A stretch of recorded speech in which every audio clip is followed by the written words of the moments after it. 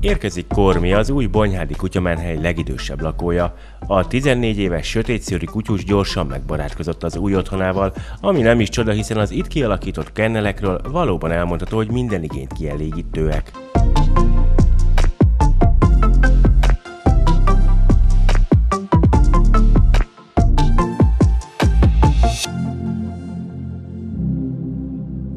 A kutyusok létszáma az nagyon változó, jelen pillanatban 50 kutyánk van, de volt már az, hogy döngettük a százas létszámot is, ez nagyon-nagyon sok egy olyan helyen, ahol most vagyunk, itt is nagyon sok lenne, tehát itt most 40 kenel áll a rendelkezésünkre, nem szeretnénk 5-6 kutyát összezsúfolni egy kenelbe, hiszen nem az volt a cél, és nem az a célunk, hogy minél több állatot gyűjtsünk össze, hanem hogy nekik minél jobb életük legyen, addig, amíg gazdára találnak.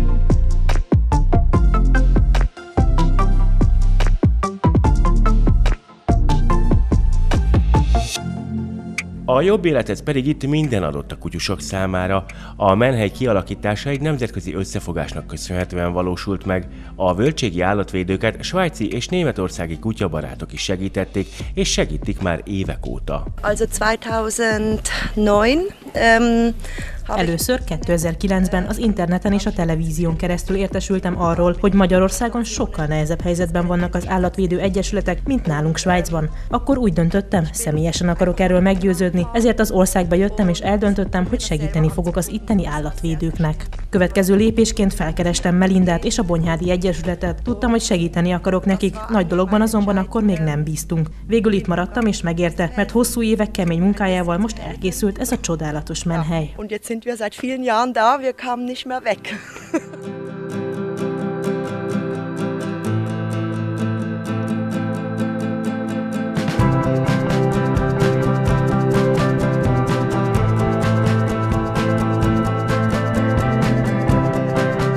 A menhely kialakítása már csak azért is mondható különösen nagy teljesítménynek, mert a Völtségi Állatvédő Egyesületnek csupán néhány tagja van, ők pedig az idejük egy részét munkával töltik, a szabad idejüket áldozzák fel a bajba került kutyákért.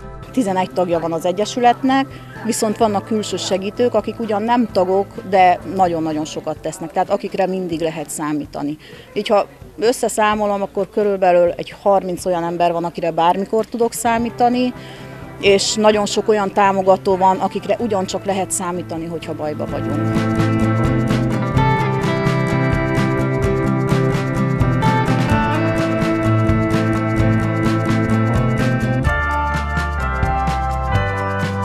Érkezik az új menhelynek felajánlott első adomány. Bonyhár polgármestere több zsák kutyatáppal érkezett az átadóra. Filóné Ferenc Ibolya azt mondja, példaértékű az az összefogás, aminek eredményeként elkészült a telep. Magyarországon valamennyi település önkormányzatot kötelez a törvény arra, hogy a kóborebeket befogja és 15 napig tartsa őket.